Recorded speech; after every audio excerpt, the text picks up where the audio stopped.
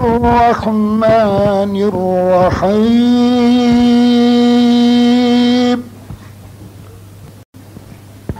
ألم تر كيف فعل ربك بأصحاب الفيل؟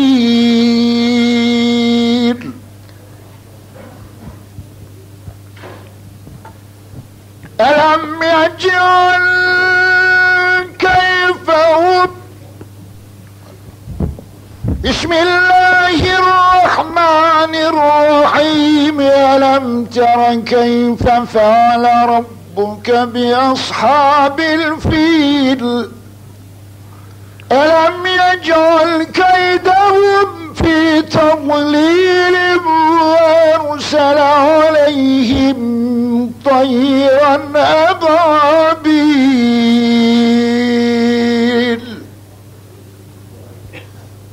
ترميهم بحجارة من سجيل فجعلهم كعصف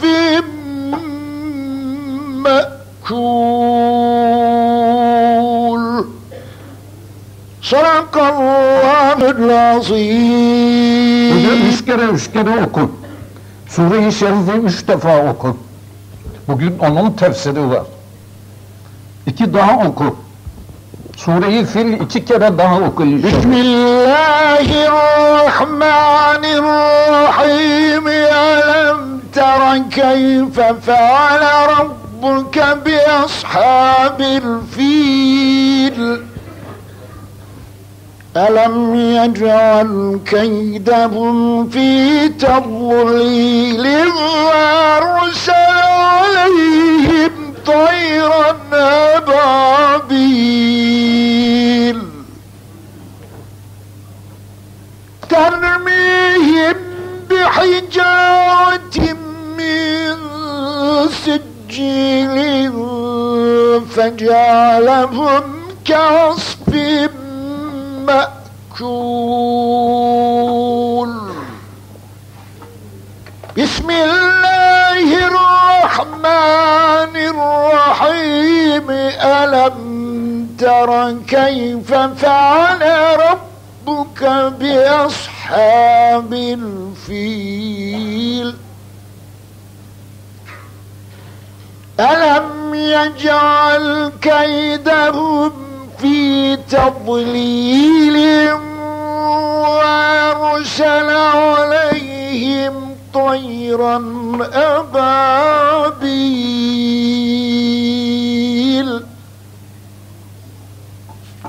ترميهم بحجارة من سجيل فجعلهم كعصف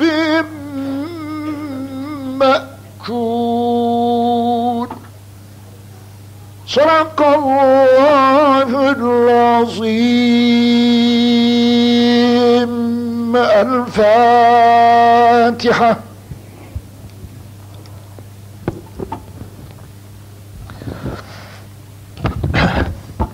الحمد لله رب العالمين. والعاقبة للمتقين. والصلاة والسلام على سيدنا محمد وعلى آله وصحبه أجمعين. Ve. Sallallahu aleyhi seyyidina Muhammed.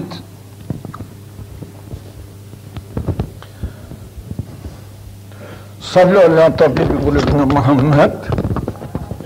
Sallu ala şefi zünübüne Muhammed. Allahu Teala uzaktan yakından teşrif eden şu muhterem cemaati, bütün ümmeti Muhammed'i iki cihanda aziz eylesin. Akıbetlerimizi hayırlı, amellerimizi rızasına muvafık, işlerimizi helal rızık, rızkı tayyib ile kazanmak nasibi müyesser eylesin. Muhterem sofiler, Bugünkü sohbetimiz İslam'da iman ve nimetleri, İslam'da isyan ve musibetlerinin kıssaları, Kur'an'da Melik Ebrehe'nin kıssası. Bu mübarek kıssa sureyi fil olarak şimdi Hoca Efendi iki defa okudu, üç defa hatta iki defa sureyi fil teravih namazında bir defa vitir namazında okudu. Şu sohbetini yapacağımız sure bugün Hoca Efendi Allah hepimizden razı olsun üç defa şu namazda okudu. Peki biz bunu okuyoruz. Hikmeti nedir? Allahu Teala bu sureyi şerifte ümmeti Muhammed'e ne ferman eder? Bu sureyi şerifte ayeti celilelerde zikredilen hukuk ilahi nedir? Bunu hepimizin bilmesi lazım. Üç defa şu namazda, iki defa teravihde okudu, bir defa da vitir namazında okudu sureyi fili Allah razı olsun. Şu halde üç kere bir namazda tekrar edilen bu devletli sure-i şerifin bu azameti ilahiyenin fermanı nedir? Hükmü nasıldır? Bunu bilmemiz lazım. Muhteremler bu sure-i şerif Mekke-i Mükerreme'de nazil olmuş. Sonra beş ayeti celileden ibarettir. Mealen hocamız üç defa tekrarladı. Müfessirin beyanına göre mealen görmedin mi Rabbin ne yaptı fil sahiplerine? Görmedin mi Rabbin ne yaptı ashab-ı file? İkinci ayette celile tuzaklarını boşa çıkarmadı mı? Üçüncü ayet-i cellenin meali üzerlerine sürü sürü kuşlar saldı. Ebabil kuşları.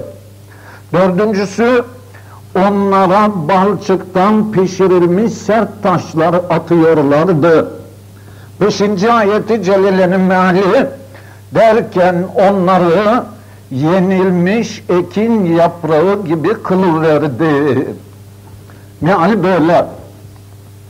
Şimdi bugünkü sohbetimizde mehaz olan faydalanacağımız eserleri zikredelim.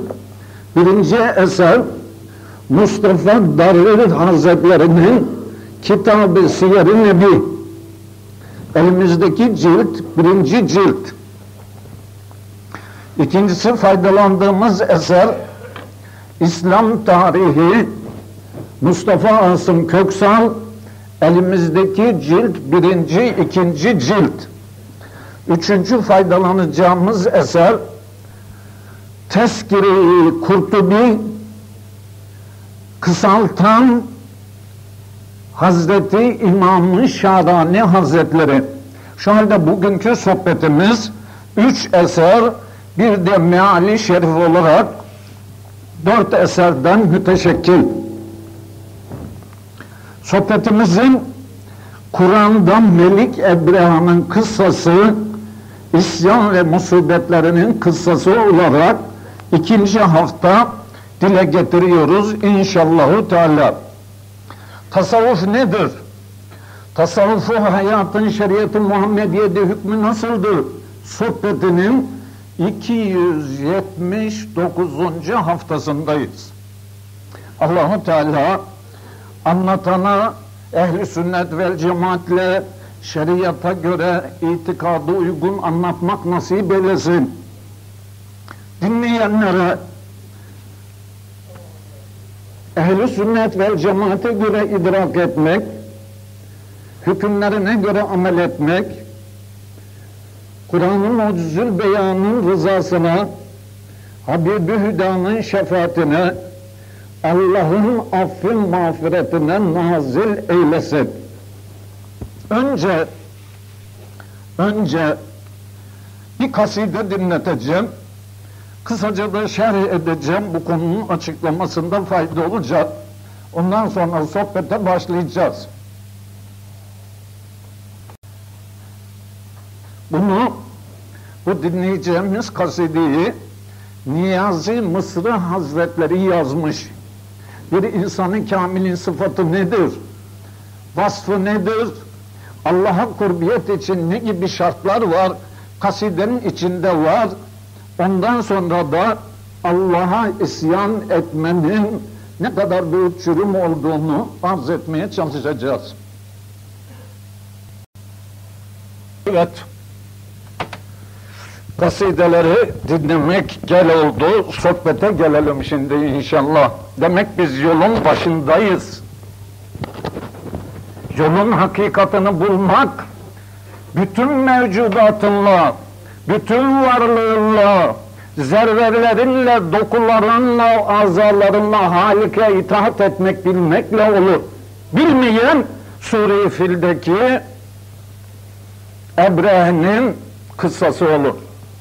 Allah-u Teala Tekaddes Hazretleri Kur'an-ı Mucizül Beyan'da şimdi huzurunuzda arz edeceğim fil yılı diye meşhur olan bu hadiseyi bize ayeti celile sure-i şerif olarak ferman etmiş. Elbet bunun bir hükmü var. Elbet bunun bir azameti var. İşte şimdi ona biiznillah gireceğiz. Kur'an-ı Mucizül Beyan'da Fil suresinde ebabil kuşlarının siccil taşlarını atarak toprağa serip helak ettiği fil ordusu neydi? Bu ordu nasıl perişan oldu? Bu ordunun başındaki melik kimdi? Niçin Allahu Teala onu zelil ve perişan eyledi? Bir iznillahi Teala onu idrak etmeye çalışacağız inşallah. İki cihan fahri Adem Aleyhisselatü Vesselam'ın alnında tecelli eden nuru Muhammed'i evlatlarının alnında tecelli ede ede ta ki Abdullah radıyallahu teala anhüm sonra onun alnındaki nur Amine Hatun'un saadeti alnında tecelli etti. Yani nuru Muhammed'i yani ruhu saadetleri Amine Hatun'un karnına düştü. İşte bu Sure-i Fil'de cereyan eden hadise serveri alem Muhammed Mustafa sallallahu aleyhi ve sellem Efendimizin Amine Hatun'un validemizin saadetli karnında iken vaki oldu. Buna fil, fil yılı denildi. Uzun seneler geçip yüzlerce binlerce sene geçtiği için fil yılı on sene kadar fil yılı, fil yılı, fil yılı diye devam etti. Bin sayısı 499 ortası sayılır. 503 de ortası sayılır. Fil hadisesi çok önemli bir ilahi hüküm. Allahu Teala'nın azametinin kahrının bir nişanesi olduğundan fil yılı 10 sene fil yılı fil yılı diye devam etti. Fahri Kainat Aleyhisselam'ın annemizin karnındayken başladığı 10 sene bu hadiseye Allah razı olsun fil yılı diye zikredildi. Şimdi elbet ayeti celile Mekke'de nazıl olmuş beş ayeti celile ve elbet sure-i şerif. Sure-i şerifin ismi Fil suresi. Bunun hadisatın hakikatında tereddüt olmaz. Acaba olmaz. Çünkü ayetle sureyle sabit. Bir insan amden kasten inkara kalkarsa Allah'ın ayetlerini ve sureyi tekzip eder mahiyete gireceğinden Rabbim Teala kimseye göstermesin kafir olur. Ve lakin her bir hadisede akli deliller de serdedilir ki insanlar bunun naklinde tereddütlerini izale etsinler. İslam tarihi birinci, ikinci cilt eseri aldım elime. Şimdi akli ve nakli delillerin de huzuru aliye getiriyorum. Fil vakasını İnkara mecal yoktur. Tevile de mahal yoktur. Şu muydu, bu muydu, böyle miydi, şöyle miydi? Allah'ın ayetlerinin zahiri, hakiki manasını tefsir, tevil etmek lazım gelmez. Namazı kıl. Bunun tefsir, tevili olmaz. Şehr-i Ramazan'da orucu tut. Bunun, bunun tefsir, tevili olmaz. Ne zaman şehr Ramazan girildi oruç tutulur, ne zaman namazın vakti girdi kılınır. İşte fil vakası ne inkara mecal ne tevhile mahal bırakmaz. Çünkü Fil suresi peygamberimize nazil olduğu zaman Peygamber aleyhissalatu vesselamın can düşmanı müşrikler bu sureyi şerifi tekzip edemediler. Ya Muhammed senin okuduğun fil vakası yoktu. Sen hakikaten peygamber olsan haşa haşa elbet peygamber böyle bir vaka ayet sure olarak bize bildirmezdin derlerdi. Peygamberimizin doğumuyla Risaleti arasında 40 sene var. Hadisenin şahitleri var. Bir hadise ki cihan şumul tekerrür etmiş, bu hadise 3, 5, 10, 30 sene zikredilmez, 50, 100, 300 sene zikredilir. Şu halde bir, madem ki sure nazil oldu Mekke-i Mükerreme'de, madem ki ayetlerle ashab-ı fil zikredildi, kimse diyemedi Allah'ın Resulüne, ya Muhammed sallallahu aleyhi ve sellem, böyle bir vaka yoktu, sen nereden çıkardın diyemediler.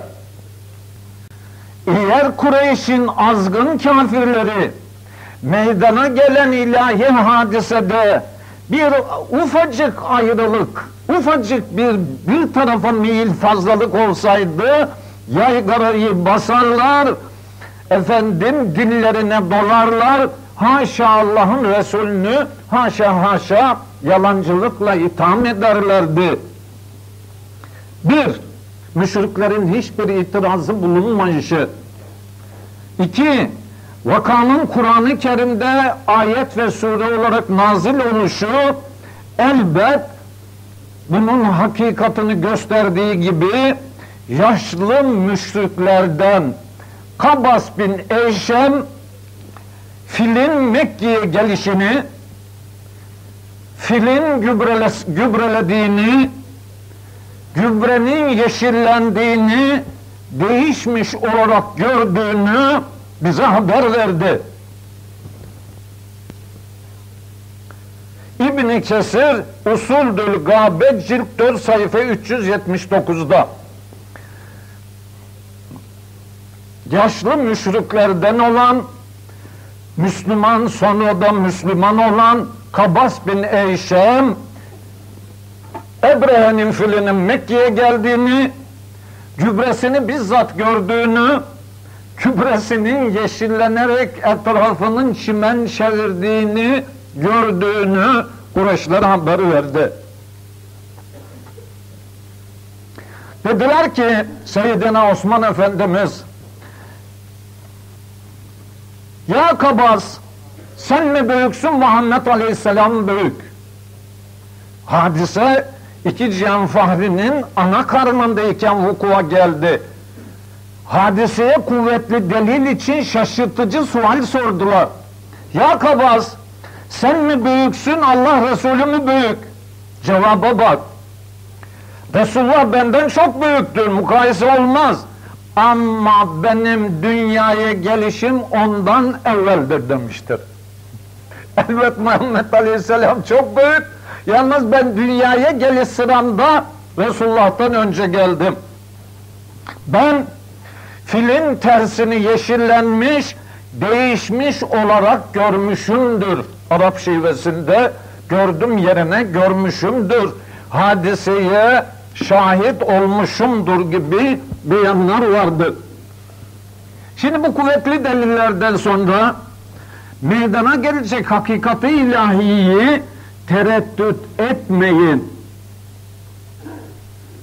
Hadisenin ciddiyetini sure-i şerif ayetlerle ve hadiseyle ortaya konuldu ki sadakta sadakallahül azim demekten başka çare kalmadı. Şu halde kıssaya giriyoruz. Allah yardımcımız olsun. Miladın 570. yılıydı.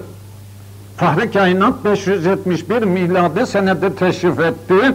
Demek anne karnındaydı sallallahu aleyhi ve sellem. Bütün aile iki cihan fahrini bekliyordu. Yemen ülkesine Habeşistanlar ordularla çıktılar. Bütün Yemen'i istila ettiler. Yemen, Suudi Arabistan'ın yarımadası, şurası Basra, yok şurası, şurası Kızıldeniz, şurası Basra Körfezi, şurası, şurası Suudi Arabistan'ın bulunduğu yarımada, güney şurası Yemen, şu kısımda Sana. Hani Cenab-ı Süleyman Aleyhisselatü Vesselam Efendimiz'e annemiz olan Belkıs'ın bulunduğu şehir Sana. Arabistan Yarımadası'nın en güneyi Yemen. Hadise Yemen'de vaki oldu. Nasıl oldu? Habeşliler Yemen'i istila ettiler. 70 bin kişilik orduyla istila ettiler. Necaşi'nin iki tane meşhur kumandanı vardı. Birisinin ismi Arbat, diğerinin ismi Ebrehe idi. Sabbah oğlu Ebrehe. Necaşi iki komutanını çok sever, birisini diğerine tercih ederdi ve lakin iki komutanın arasında düşmanlık vaki oldu. İki taraf ordularını ayırdı, vuruşmak durumunda Ebrehe cin gibiydi. Şeytani aklı kaviydi. Arbat'a dedi, iki orduyu birbirinden kavga ettirmeyelim. İkimiz dövüşelim, kim galip gelirse o galip sayılsın, Yemen'in hükümdarı olsun. Ahir kelam, Ebrehe Arbat'ı yendi, öldürdü, ne oldu? Yemen'e melik oldu. İmparator Habeşistan İmparatoru Necaşi Yemen'in meliki hükümdarı Ebrehe Eb Sabbah'ın oğlu Ebrehe babası Sabbah oğlu Ebrehe kısa yolumuza gideceğiz inşallah Ebrehe talihsiz Ebrehe nefsinin esiri Ebrehe İmparator Necaşi Habeşistan'da imparatorluğunu süre koysun Yemen'de sanki sahipsiz bir melik olarak hükmünü yürüttü. Sana da sana Süleyman Aleyhisselam'ın hanımı annemiz Belkis annemizin sarayının olduğu çok meşhur şehir. Bir kilise yapmaya karar verdi. Şu çocuk otursun. Şu çocuğu oturtun yanınızdaki.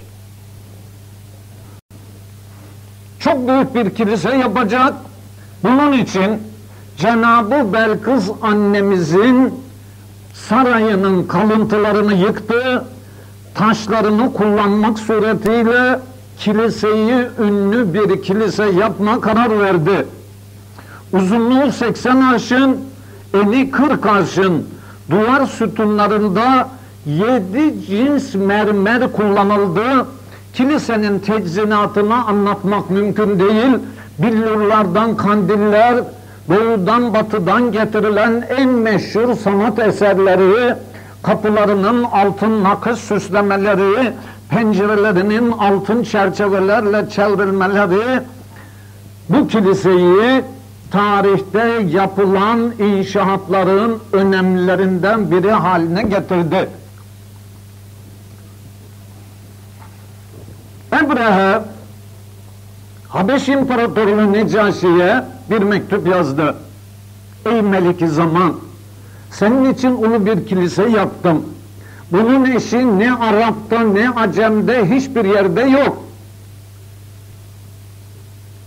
Bu kiliseyi bu kiliseyi sana dünyada emsali olmamış bir mabet olarak hediyet ediyorum.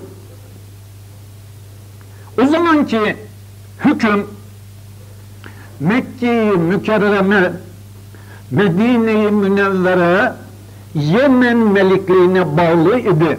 Şimdi Ankara, İstanbul nasıl devletimize bağlı? Mekke şehri, Medine-i Münevvere şehri Yemen'e bağlı. Bursa, Afyon, İzmir, Ankara gibi. Yani Yemen meliki Mekke'nin de Medine-i Münevvere'nin de meliki. Hükmetmek cihetiyle, hakimiyet cihetiyle. Ebrehe Yemen'de melikliğini icra ederken Mekke'de hükmetmek istedi. Hiyanet damarları kabardı, şeytanın ivasına uydu, Arapların ve İslam aleminin Adem Aleyhisselam'dan fahri kainat ve kıyamete kadar Beytullah olan Allah'ın azametiyle ismi müsemma olan Kabe'yi haset etti. Orada ümmeti Muhammed'in ve her dindeki peygamberlerin İbrahim Halilullah, İsmail Aleyhisselam, Musa Aleyhisselam, İsa Aleyhisselam, Salih, Davut, Tut Aleyhisselam, Nuh Aleyhisselam gibi bütün peygamberlerin tavaf edişini, o gündeki iman eden ehli imanın tavaf edişini, izzetini, Allah katındaki makbuliyetini kırmak, kendi kilisesini Mekke yerine ikamet etmek istedi. Haşa haşa Beytullah'ı yok edecek. Yemen'de sanada kurduğu kilise haşa sümme haşa ne gönlümüzden geçsin ne dilimize dolansın Kabe'nin yerine konulmuş, kurulmuş bir Beytullah haşa haşa onun yerine kaim olmayı murad etti Sabbah'ın oğlu Ebrehe. Ne kadar kötü bir şey ya be.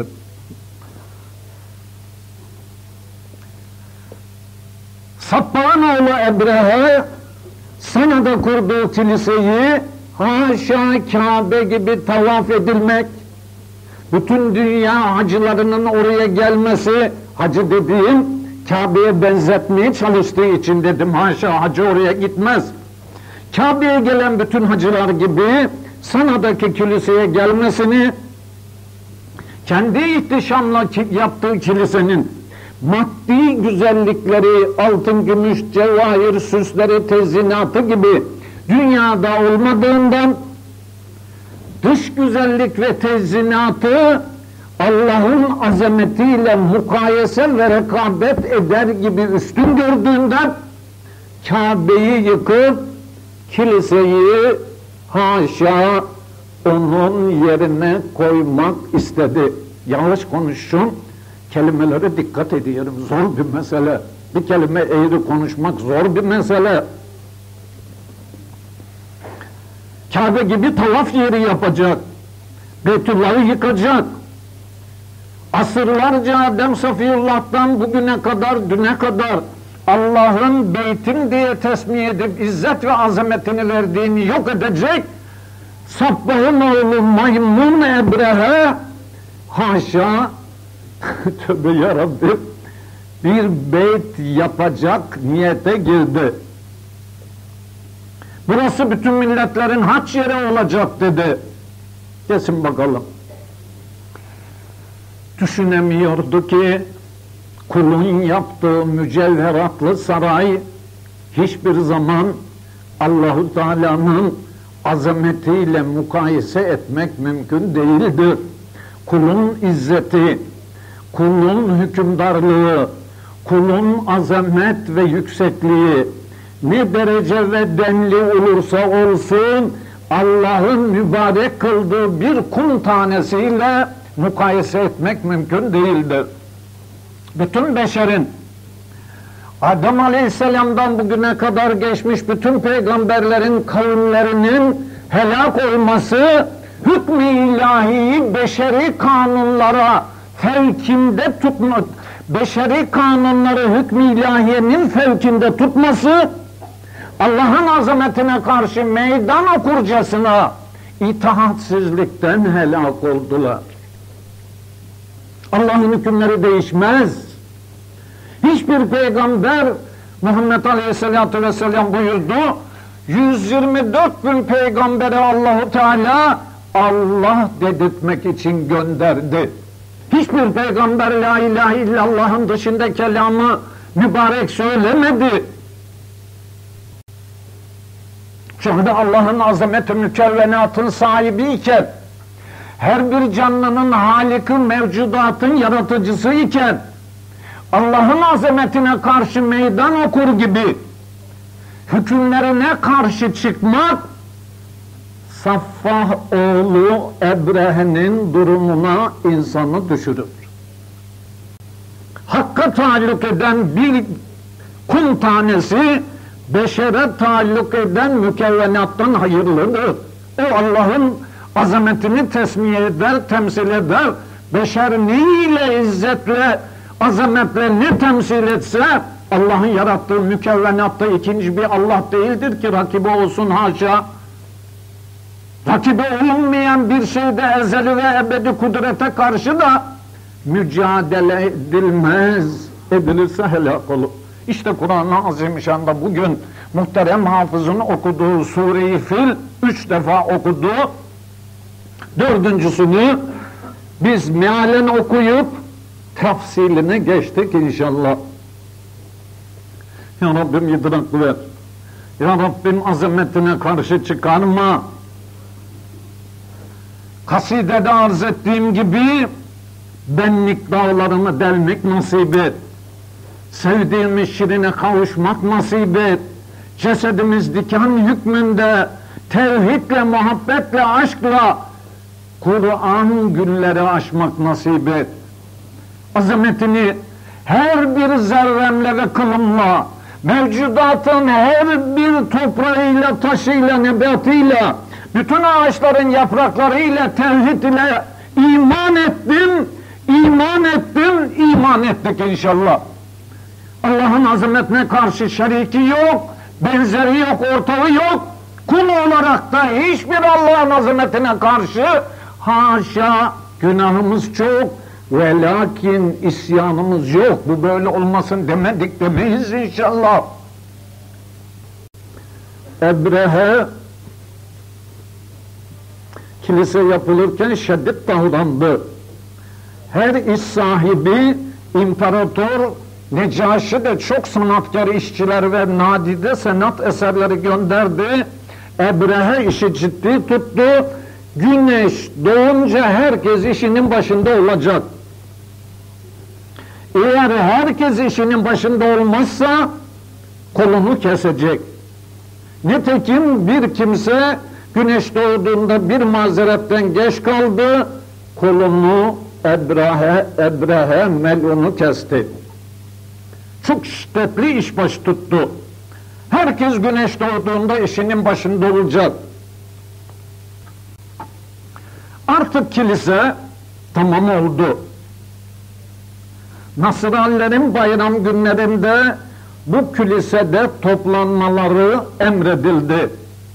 En uzak yerlerden birkaç aylık yollardan, iklimlerden Yemen Sana'ya gelmeye başladılar. Ebrehe'nin kendisi dahi bizzat melik olmasına rağmen askerleriyle gelir. Uzak bir yerde konaklar, ikindi vakti olunca yalın ayak, çıplak ayaklarla gelir. Her millet kendi diliyle dua eder, kiliseye yalın ayak girerlerdi. Nasıl biz Beytullah'a yalın ayak giriyoruz, haşa azameti, temizliği, tahareti için durmadan haşa sümme haşa Beytullah tavaf edilir gibi kilise tavaf edilirdi. Ebrehe Melyun'u kiliseyi Beytullah yerine kaim kıldı. Tavaf zamanı bitince herkes memleketine dönerdi. Haç mevsimi günlerinde Hicaz ilinden her kim bu tapınağa girmek isterse ona derhal müsaade verilirdi. Ebrahim Elunu dedi, Arap kıtasından kim gelirse Mekke-i Mükerreme'den, Medine-i Münevvere'den Arap olduğunu anlayınca ikram edin, izzet edin. Onları derhal sokun kiliseye. Onlar kilisemizin ihtişamını görsünler de Mekke'nin sevgisinden vazgeçsinler. Ebrehe'nin aklı saray inşaatındaki debdebe ve şöhrete Beytullah'ın Allah katındaki azametine tezyinat ile kilisedeki tefrişat ile müzeyyen olan inşaat ile boy ölçmeye kalkıştı. Araplara müsaade edin özel gelsin. Onlar görsünler ki Kabe'den daha güzelini yaptık. Sevsinler Kabe'lerini yıkalım. Haşa. Orayı Beytullah yapalım haşa. Beytul Ebre